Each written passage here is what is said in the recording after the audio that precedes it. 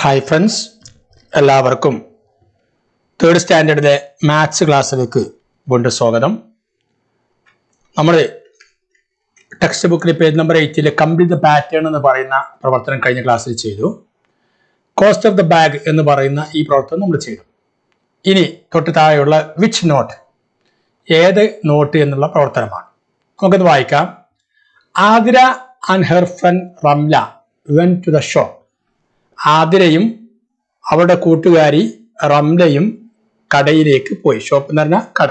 കടയിലേക്ക് എന്ത് സാധനം വാങ്ങാൻ വേണ്ടി പോയി. വിത്ത് എ നോട്ട് ഈച്ച് ഓരോരുത്തരും പൈസ കൊണ്ടാണ് പോയത്. നോട്ടുമായിട്ടാണ് പോയത്. When Athira change her note Athira അവളുടെ നോട്ട് ചേഞ്ച് ആക്കി. She got two hundred rupee notes രണ്ട് നൂറ് രൂപ നോട്ട് കിട്ടി. Three fifty rupee notes. മൂന്ന് അൻപത് രൂപ നോട്ട് കിട്ടി. Five ten rupee notes. അഞ്ച് പത്ത് രൂപ നോട്ടുകളും and twenty five rupee notes. Twenty five rupee നോട്ട്സുകളും കിട്ടി. Ramla bought things for fifty rupees Ramla അവിടെ കയ്യിലുണ്ടാകുന്ന നോട്ട് കണ്ട് അൻപത് രൂപക്ക് സാധനം വാങ്ങി.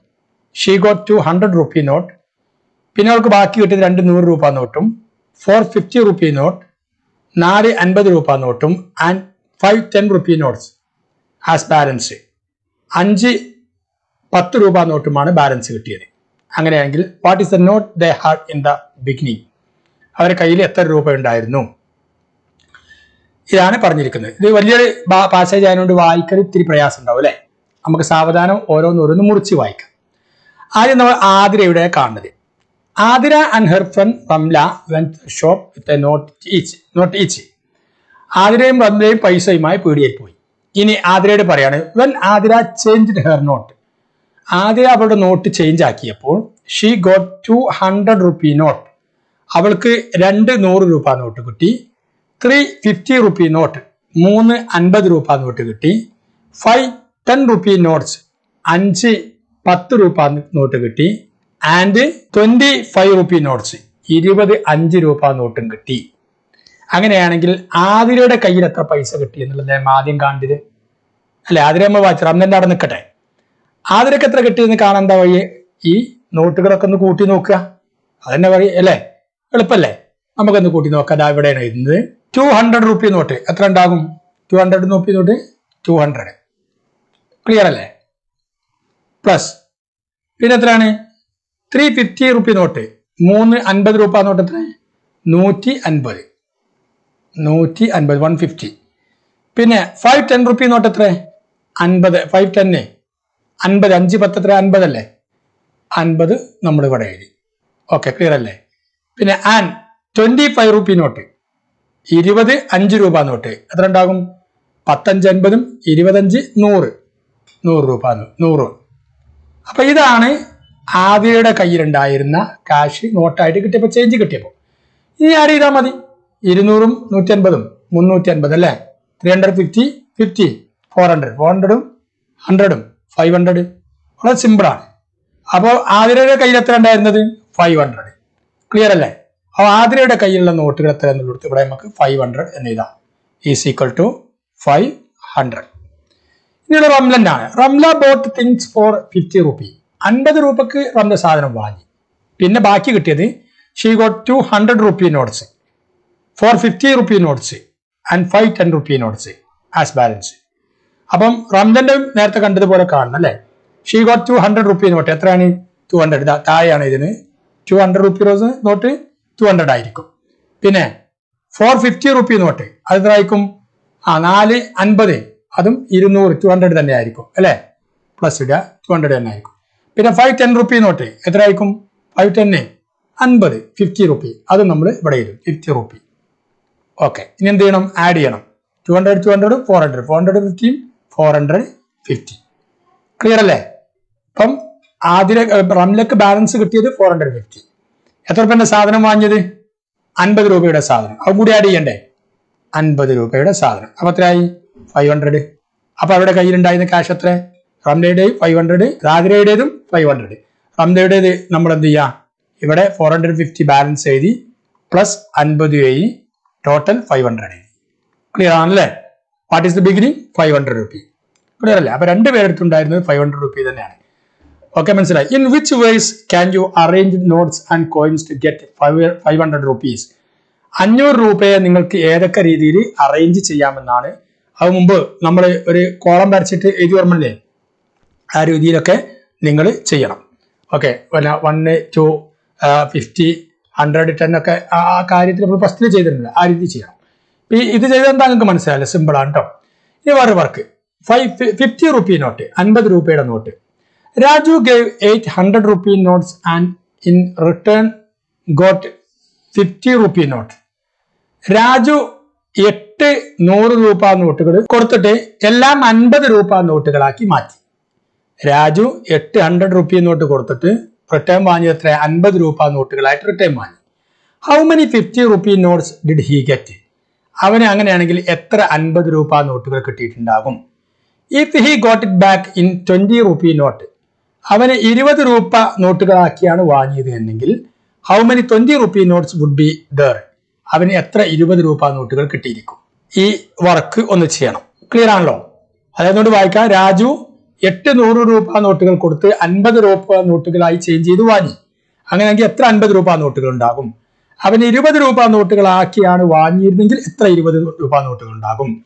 ആദ്യം നമ്മൾ നോക്കുന്നത് എൺപത് രൂപയുടെ നോട്ടുകളാണ്. ആദ്യം രാജുവിന്റെ കയ്യിൽ ഉണ്ടായിരുന്ന എത്ര? Eight hundred. നമ്മൾ താഴെ എഴുതി നോക്കുക എയ്റ്റ് ഹൺഡ്രഡ് എത്ര? Eight into hundred. എത്രയാണ്? Eight hundred. അപ്പൊ എത്ര അവന്റെ കയ്യിൽ ഉണ്ടായിരുന്നത്? Eight hundred rupee. ഇത് നമ്മൾ മനസ്സിൽ വെക്കാം കേട്ടോ. ഇനി ഒരു നൂറ് രൂപ നോട്ടിൽ എത്ര അൻപത് രൂപ നോട്ടുകൾ ഉണ്ടാകും? രണ്ട് അൻപത് രൂപ നോട്ട്. അല്ലെ? രണ്ട് അൻപത് ചേർന്നതാണ് ഒരു നൂറ്. അല്ലെ?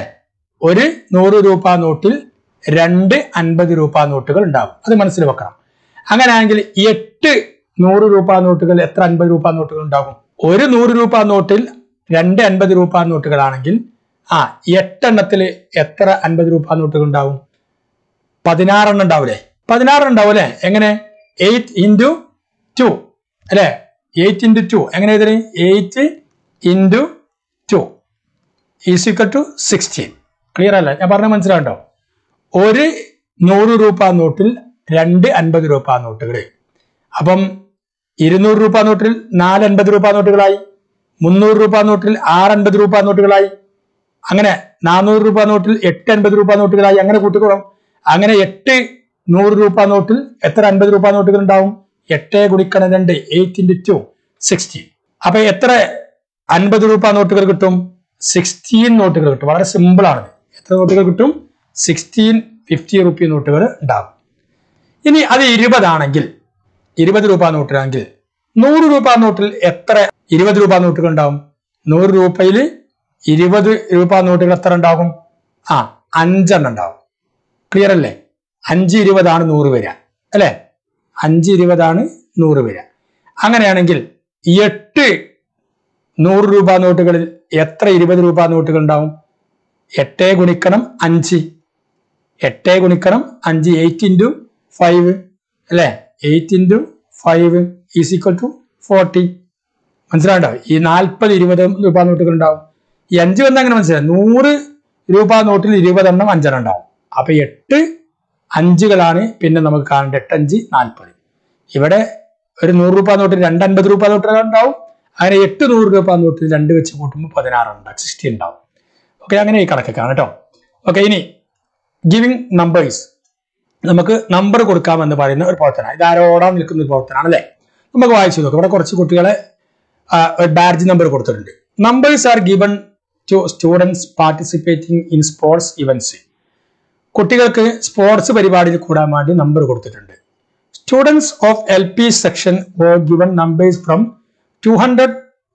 to two hundred sixty five ആ എൽ പി സ്കൂളിലെ കുട്ടികൾക്ക് കൊടുത്തത് ഇരുന്നൂറ്റി ഒന്ന് മുതൽ ഇരുന്നൂറ്റി അറുപത്തി അഞ്ച് വരെ നമ്പറാണ് students of U P section were given numbers from two hundred sixty six to three hundred forty ഇരുന്നൂറ്റി അറുപത്തി ആറ് മുന്നൂറ്റി നാൽപ്പതാണ് ആ യു പി സ്കൂളിലെ കുട്ടികൾ കൊടുത്തത്. അങ്ങനെയാണെങ്കിൽ from which section did the maximum number of students participate?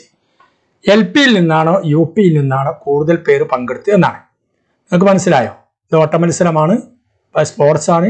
അതിൽ പങ്കെടുക്കാനുള്ള കുട്ടികളുടെ നമ്പറാണ് ഈ കൊടുത്തത്. എൽ പിയിൽ ഇരുന്നൂറ്റി ഒന്ന് മുതൽ ഇരുന്നൂറ്റി അറുപത്തി അഞ്ച് വരെ യു പിയിൽ ഇരുന്നൂറ്റി അറുപത്തി ആറ് മുതൽ മുന്നൂറ്റി നാൽപ്പത് വരെ. അങ്ങനെയാണെങ്കിൽ എൽ പിയിൽ നിന്നാണോ യു പിയിൽ നിന്നാണോ കൂടുതൽ പേര് പങ്കെടുത്തതെന്നാണ് വെരി സിമ്പിൾ ആണ്. കഴിഞ്ഞ പ്രാവശ്യം നമ്മൾ ഒരു ബുക്കിൽ നമ്പർ ഇടുന്ന ഒരു- വർക്ക് ചെയ്തിരിക്കുന്നു. സെയിം മെത്തേഡ് തന്നെയാണ്. രണ്ട് സംഖ്യകളുടെ ഇടയിലുള്ള സംഖ്യ ആക്കങ്ങൾ കാണാൻ എന്താ വഴി? ആ അവസാനത്തെ സംഖ്യയിൽ നിന്നും ആദ്യ സംഖ്യ കുറച്ച് ഒന്ന് ആഡ് ചെയ്യാം. ഉത്തരത്തോടു കൂടി വൺ പ്ലസ് ചെയ്യാം അല്ലെ? അങ്ങനെയാണെങ്കിൽ നമ്മൾ ആദ്യം എൽ പിന്റെ കാണാം. എൽ പി എന്ന് നമ്മൾ മുകളിൽ എഴുതി. എൽ പി സെക്ഷനിലെ കുട്ടികളെ നമ്മൾ കാണുന്നത്. എത്രയാണ് എൽ പി സെക്ഷനിലുള്ളത് ഇരുന്നൂറ്റി ഒന്നൂറ്റി ഇരുന്നൂറ്റി അറുപത്തഞ്ച്. അപ്പൊ നമ്മൾ എന്താ ചെയ്യേണ്ടത്? Two hundred sixty five minus two hundred one അല്ലെ?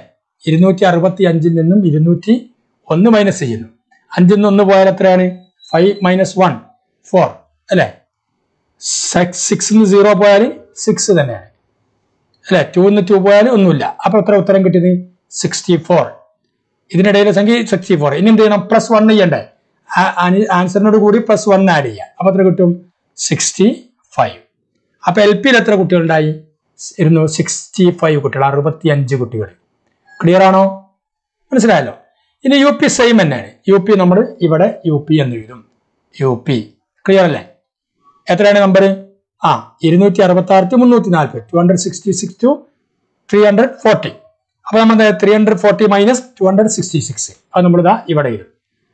Three hundred forty three hundred forty minus two hundred sixty six minus ചെയ്യണം. സീറോ ഒന്ന് സിക്സ് പോവോ? ഇല്ല. അവർ ടെൻ എടുക്കും അല്ലേ? ടെൻ എന്ന് സിക്സ് പോയാൽ ഫോർ ക്ലിയർ അല്ലേ? ബാക്കി ഇവിടെ എത്ര ത്രീ ടെൻ ആണ്. ത്രീ ടെൻ എന്ന് സിക്സ് തന്നെ പോകില്ല അപ്പോൾ ഒരു ഹൺഡ്രഡിന്ന് ആ പത്ത് ടെൻ ഇങ്ങോട്ട് എടുക്കും. അപ്പൊ എത്രയായി പത്ത് മൂന്ന് പതിമൂന്ന് ടെന്ന് പതിമൂന്ന് ടെന്നിൽ നിന്ന് ആറ് ടെന്ന് പോയാൽ ആ ഏഴ് ടെന്ന് ബാക്കി അല്ലേ? പിന്നെ ടു ആണ്. ടു ഒന്ന് ടു പോയാൽ സീറോ ഉത്തരം എത്ര സെവന്റി ഫോർ പ്ലസ് ആ വൺ ആൻസർ എത്ര സെവന്റി ഫൈവ് അപ്പൊ യു പിക്ക് എത്ര കിട്ടിയത്? സെവന്റി ഫൈവ് എൽ പിക്ക് അറുപത്തി അഞ്ച് കുട്ടികളും യു പിക്ക് എഴുപത്തി അഞ്ച് കുട്ടികളും പാർട്ടിസിപ്പേറ്റ് ചെയ്തു. അല്ലെ? അങ്ങനെയാണെങ്കിൽ ആരാ പാർട്ടിസിപ്പേഷൻ കൂടുതൽ സിക്സ്റ്റി ഫൈവ് ആണോ സെവന്റി ഫൈവ് ആണോ? രണ്ട് അക്കങ്ങളുടെ വലുതോ ചെറുതോ കാണുന്ന വഴി? ടെൻസിന്റെ സ്ഥാനത്ത് സംഖ്യ വലുത് ഏതാ നോക്കുക ഏതാണ്? സെവന്റി ഫൈവ് അപ്പൊ ഏതാ പാർട്ടിസിപ്പേഷൻ കൂടുതൽ ആ യു പി. അപ്പൊ നമ്മൾ ഇവിടെ എന്ത് ചെയ്യും? യു പി എന്ന് എഴുതും. ക്ലിയർ ആണല്ലോ? മനസ്സിലായില്ലേ? ഇത് സിമ്പിളാണ് നേരത്തെ നമ്മൾ ചെയ്ത വർക്കിന്റെ വേറൊരു ഭാഗം തന്നെയാണ് കേട്ടോ ഓക്കെ ഇനി ഒരു work. Can you make the sum twelve നിങ്ങൾക്ക് ഇവിടെ ഏഴ് ബോക്സുകൾ ഏഴ് റൗണ്ടുകൾ കൊടുത്തിട്ടുണ്ട്. ഈ റൗണ്ടുകളുടെ സംഖ്യ എങ്ങനെ കൂട്ടിയാലും എങ്ങനെയാണ് ട്വൽവ് ആകണമെന്നാണ് പറഞ്ഞത്. Okay write numbers from one to seven in the circles without repeating ഒന്ന് മുതൽ ഏഴ് വരെ സംഖ്യ റിപ്പീറ്റ് ചെയ്യാതെ ഈ കള്ളികളിൽ എഴുതണം എന്നിട്ട് the sum of the numbers in each line in a line should be twelve ഓരോ ലൈൻ ഇങ്ങനെ കൂട്ടിയാലും ഈ വരട്ടത് അങ്ങനെ കൂട്ടിയാലും ഇങ്ങനെ കൂട്ടിയാലും ഇങ്ങനെ കൂട്ടിയാലും ഇങ്ങനെ കൂട്ടിയാലും. ഒക്കെ ആൻസർ എന്തായിരിക്കണം? ഷുഡ് ബി ട്വൽവ് പന്ത്രണ്ടായിരിക്കണം ട്രൈ ടു കംപ്ലീറ്റ് ഇറ്റ് അങ്ങനെയാണെങ്കിൽ അതെങ്ങനെ കംപ്ലീറ്റ് ആക്കും?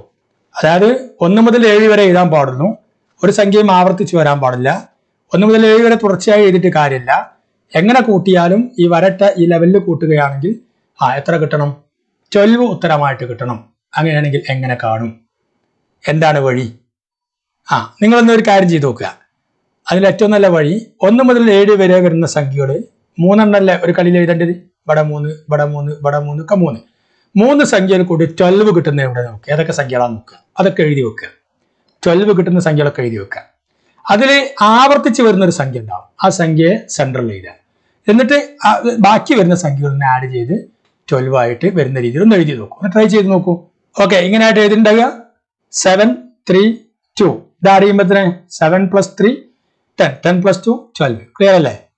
Six four two six plus four ten ten plus two twelve seven plus four eleven eleven plus one twelve three plus four seven seven plus five ആ twelve six plus one five eleven eleven plus one twelve ഇതെങ്ങനെ കൂട്ടിയാലും twelve തന്നെയാണ് ഉത്തരം കിട്ടുന്നത്. ഇങ്ങനെയാണ് അത് എഴുതാൻ okay കൂട്ടുകാരെ നമ്മൾ can you make the sum എന്ന് പറഞ്ഞ രസകരമായ ഒരു ഗണിത ശേഷി വർദ്ധിപ്പിക്കുന്ന ഒരു കണക്കും.